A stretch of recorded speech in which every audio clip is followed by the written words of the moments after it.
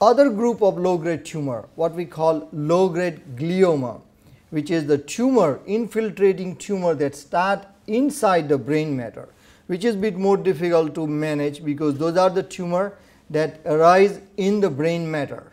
And depending on the location again people have symptoms.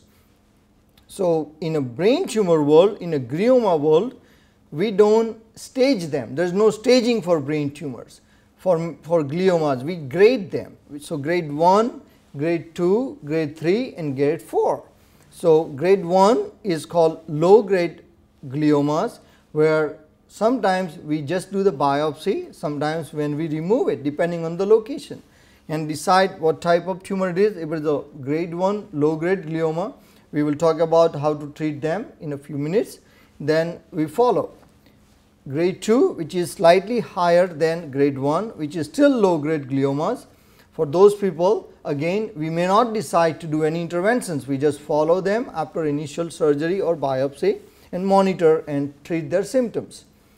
Grade 3 which is called anaplastic gliomas and again depending on the origin of the cells which is either astrocytes what we call anaplastic astrocytomas or oligodendrocytes what we call anaplastic oligodendrogliomas.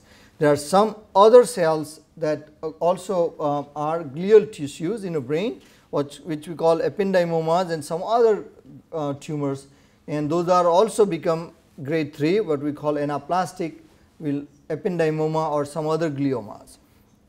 So, that is grade 3 anaplastic tumors which has slightly more chances of getting into the higher grade or having slightly more chances of having recurrence faster than grade 1 and grade 2.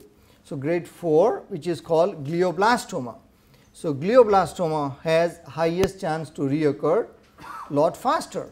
So, those are the tumor when we remove it even though we remove it by 100 percent surgeon many of the time come lot of time people come to my office after having a their glioma or glioblastoma removed and said, doctor, my doctor, my neurosurgeon told me that he or she removed 100 percent of my tumor. And what that means to most practical instance is the surgeon removed everything that he could see in a naked eye or he removed everything that he saw on that MRI which is gadolinium enhanced abnormality. For grade 4 gliomas there is some microscopic spread that we do not see it on MRI. So, those are the finger like projections. So, we were for today's purpose we are not going to talk about grade 3 or grade 4, we are going to just focus on low grade tumors, low grade. So, low grade gliomas have also different um, symptoms depending on size, depending on location, people have different symptoms. If somebody has tumor in very critical part of the brain surgeon said this is located in certain part that we cannot even biopsy like brainstem gliomas. So, even major neurosurgeons or major brain tumor centers this is the only time if people have a brainstem uh, glioma looking abnormalities we decide to treat them as we need to treat them with uh, uh, proven glioma without biopsy because doing biopsy for those brainstem patient with gliomas may hurt people. Brainstem is a very vital part of our brain which can cause major major symptoms. So, again how would you look those gliomas on MRI there is a completely different characteristics when we look at the MRI first time. We can almost very not 100 percent, but very certainty say that this is going to be low grade glioma or this is going to be higher grade glioma. At the same time, we also can predict who is what is going to be looking like meningiomas. So, looking at the MRI, so diagnostic test still gold standard is MRI even for gliomas. So, once people present with whatever different symptoms depending on the location of the tumor, headaches, seizures, weakness, mental status change, confusion, difficulty finding words, difficulty with fine coordinated movements, balance problems, sensory symptoms. People have all different types of symptoms even with the gliomas. So, once they have diagnosis of MRI appearance of glioma, once we see them we decide what should we do. If location of the tumor permits us, we say we are going to and again management of low grade gliomas are the most controversial at even present time even in our most national and international brain tumor um, society meetings. We have almost one full day for low grade uh, glioma management because if you ask 10 different neuro-oncologists there may be many different opinions how to manage those gliomas. So, it is still not universally accepted gold standard for managing low grade gliomas. So, now we decide and divided gliomas low grade gliomas into low risk low grade glioma and a high risk low grade glioma. So, people with low risk low grade glioma depending on the location and the size if we make a diagnosis by either doing a biopsy or removing the whole tumor we monitor. If it is a low risk low grade tumor low risk low grade glioma we decide to depending on their pathology again we decide to monitor them without doing further interventions. If it is a high risk low grade gliomas, we have to do more interventions because those are the people as a high risk to develop into the grade 3 which is anaplastic or even higher grade lot faster. So, depending on the individual person and again for this reason everybody with brain tumor should be managed by brain tumor specialist.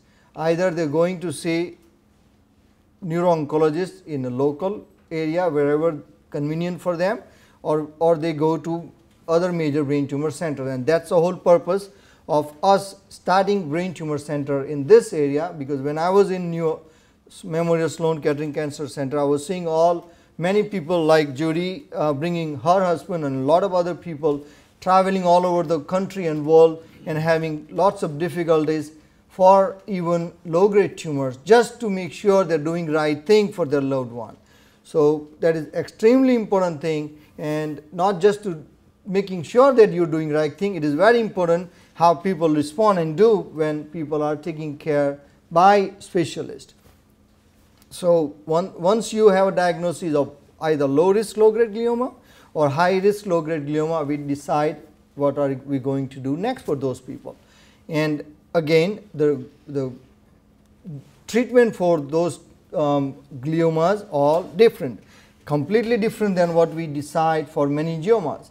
So, gliomas we decide if this is completely removable 100 percent removed by surgeon and pathology is completely low risk low grade glioma, then we would monitor them carefully by doing MRIs. In the first year or two we do bit more serial more frequent MRI just to make sure these tumors are not coming back fast enough to do further interventions if you have high risk low grade gliomas, then we decide to intervene depending on again the type of tumor. A lot of new advances occurs in glioma world in last 5 to 6 years. I am going to mention very briefly at the end, but depending on what we see for a lot of different things after we do the pathology, we decide whether it is astrocytoma or oligodendroglioma or ependymoma or different other tumors we design the treatment for those individual persons. So, if it is a high risk low grade tumors depending on their pathology with the astrocytomas we might choose to do radiation followed by possible chemotherapy or monitor without chemotherapy and decide what we need to do next. For people with high risk low grade low grade high risk oligodendrogliomas we do genetic testing. This is extremely important because most of the time when I see people with low risk oligodendrogliomas, I do not have that piece of information which is very very important and when I ask them if the surgery was already done 2 3 years ago we may not even have a tissue at the place where they had a surgery and we miss that window of opportunity to get that genetic information.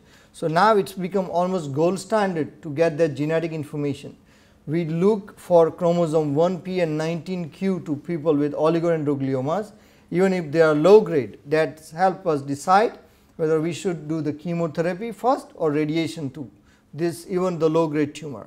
So, this is extremely important piece of information and we should have it as, um, as almost every brain tumor uh, low grade glioma oligodendroglioma. So, it is extremely important piece of information that if you are not practicing neuro-oncology may not be able to get this and this is again another reason we need to have specialists either um, locally or wherever you are going to uh, monitor. So, once we diagnose them with um, gliomas, we decide the treatment, we follow and, um, and we monitor them. Now, what is the prognosis? What people do, uh, how they do after the diagnosis of both meningiomas and gliomas. And that is the most important reason I wanted to come here and talk today because I think the, the prognosis and further um, um, quality of life is very very important. And, um, and once people hear the diagnosis of brain tumor most of the people will almost give up that that is it. Nothing else going to happen. We are going to die or we are going to have problems. But that is not the case. And we have published we try to publish time to time a lot of different encouraging stories. And I do not know how many of you read one of my patient story recently about 3 4 months ago in um, in a Barnabas Health um, Barnabas Today magazine where I had a patient with glioblastoma who was diagnosed with glioblastoma in 2004 and he is still alive and he is the first patient in the world to get PhD after diagnosis of glioblastoma he is surviving today, doing it, he lives independently by himself and working as a, as a movie director, state um, drama director in a Broadway. So, even the, the most malignant form of tumor, glioblastoma can do well. So, when coming back to the low grade gliomas, I think it is very very important that people need to understand there are lots of different things we can do, there are different hopes and people can survive normally. So, meningiomas of course, people have impact on depending on the location, but they can do well same thing with the gliomas. They can pursue their career, they can do whatever they are planning to do and live normally as normal they can depending on the location of the tumor. So, um, I think that is the core part of what I wanted to talk about um, the treatment and prognosis about low grade tumors.